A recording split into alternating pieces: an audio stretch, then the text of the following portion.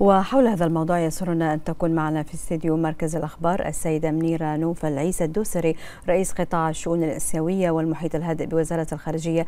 أهلا بك في نشرة الأخبار السيدة أهلا بك أستاذة منيرة. شكرا. طبعا في البداية هل توضحين لنا أهمية الزيارة التي قام بها جلالة الملك المعظم إلى جمهورية الصين الشعبية وما نتج عن هذه الزيارة من اتفاقيات تصب في تعزيز التعاون بين البلدين الصديقين؟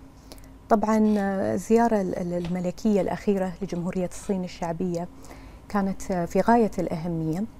ليست فقط على الصعيد الثنائي ولكن أيضا على الصعيد العربي حيث أن تفضل سيدي جلالة الملك المعظم حفظه الله ورعاه بحضور الاجتماع الوزاري للمنتدى العربي الصيني والذي انعقد بتاريخ 30 مايو 2024 أي ما يعني أسبوعين منذ استضافة مملكة البحرين للقمة العربية نعم.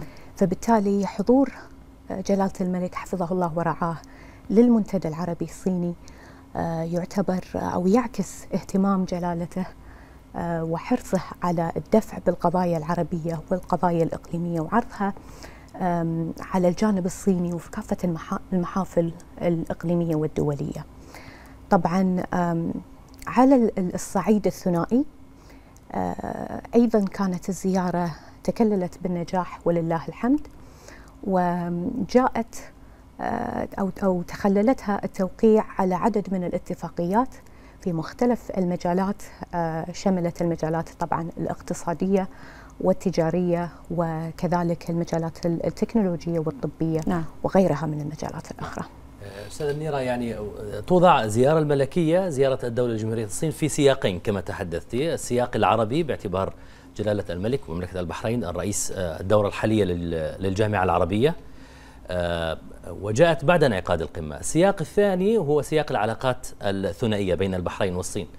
القراءة الأولى للعلاقات العربية الصينية وتمثيل جلالة الملك المعظم باعتباره رئيس للدورة الحالية للجامعة العربية جاءت واضحة في المنتدى الذي تحدثت عنه لكن في سياق العلاقات الثنائية بين البحرين والصين ما أهمية توقيع الاتفاقيات الثنائية بين البلدين وما الذي يمكن أن تضيفه هذه هذا التوقيع؟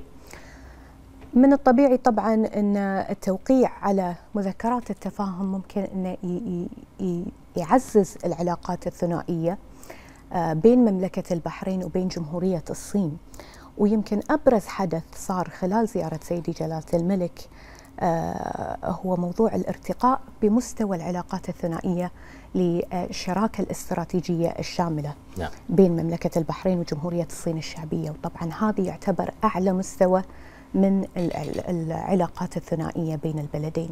فبالتالي موضوع التوقيع على مذكرات التفاهم تم التوقيع على عشرة مذكرات تفاهم.